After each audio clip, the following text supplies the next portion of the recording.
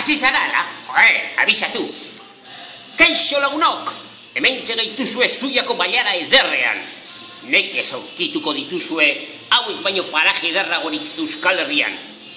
Gaur, murgiara etorri gara bertako biztanle ezagun bati elkarrizketa egitera. Benetan diotsuet gaur gurera ekarri dugun pertsonaiak merezi duela zuen aurrean egotea.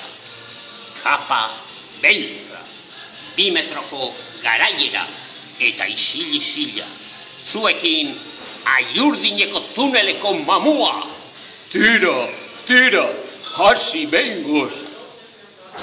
Duela gutxi izan genuen zure berri, laugarren mila urtekoa deituriko telebista programa, La Cuatro Patean. Ikusi alzenuen programa. Dina gezurra. Baina, baina zer diozu? Ertzain batek ikusi zintuen, inspektore jaunak hain zuzen ere. Berak eta bere kuadrillak. Ondo izorratu zidaten nire gauerako paseo lasaia. Berak eta aiurdineko tunel barruan izan zen, ez da? Boi, boi, Zer gertatu zen bertan? ni orotik aiurdinerako bidean indoan, lasai, lasai. Tuneletik atajo hartzen dut.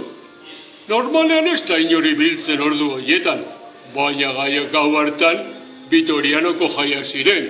Eta han azaldu zen bikote bat bere kotxean, moskor, moskor eginda. Ertzainei deitu zieten, eta arkaute erdia azaldu zenan.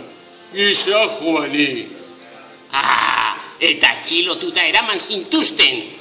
baina zu tontoa zara, ala? A ber, saiatu ni atzilotzen. Ei, ei, uh, ei, ei, ei. Arrasi duzu, ezin zaitut ikutu.